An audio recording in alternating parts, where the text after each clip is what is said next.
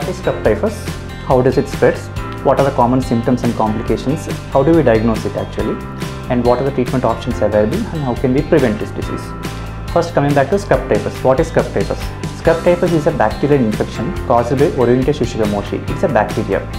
So what is tsutsugamushi? It's a Japanese word. Shushiga means illness. Mushi means mite. Illness spreads by bite of a mite. Apart from mites, it is also spreads by ticks, body lice and also fleas. So usually how does it look? It's a small mite, usually around 0.3 to 0.5 mm in length and reddish color. That's why it's also called cherry bug. So how does it spread? It is transmitted by bite of infected larval mite. Okay. Uh, usually we'll see in hilly areas, mountain regions and across the river banks and also grassy areas where there is a lot of vegetations, thick forest regions. Okay. So what are the common symptoms and what are the complications we can see? So usually uh, child will present with high grade fever, shivering, headache, rashes and also abdominal pain with intense vomitings.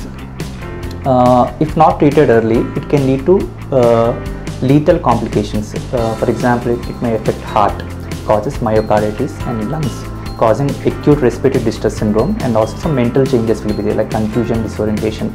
It can also lead to internal bleeding, liver failure and also kidney failure. How can we diagnose this case?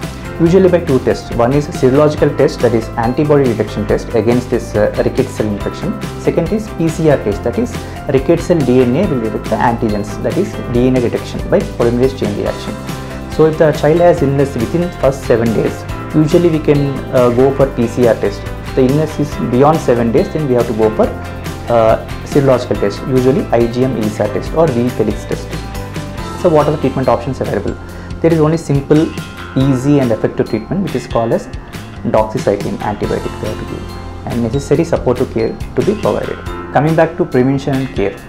So there are uh, five steps are the preventive uh, strategies for the prevention of rickettsial diseases.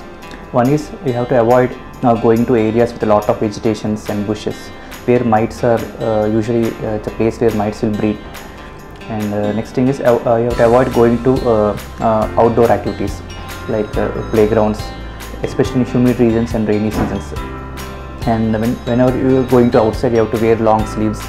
Always you have to protect your arms and legs. And you can use the insect repellents also.